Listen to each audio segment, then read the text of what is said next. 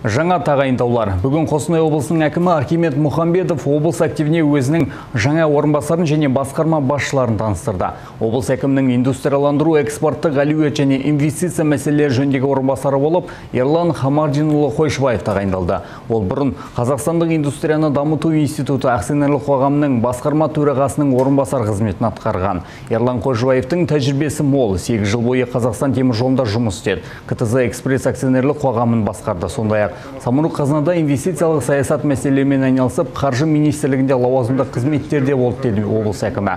Бүгін сонымен қатар екі басқарманың басшысы тағайындалды. Гүлбара мұсахазина қостанай облыс әкімдігінің экономика және бюджеттік жоспарлау басқармасына келді. Ол бұған дейін қостанай облысы бойынша ішкі мемлекеттік аудит департаментінің басшысы қызметін атқарған. Ал қостанай облыс әкімдігінің білім бөлімінің басшысы қызметінде болған василий тимбалюк облыстық білім басқармасының басшысы болып тағайындалды.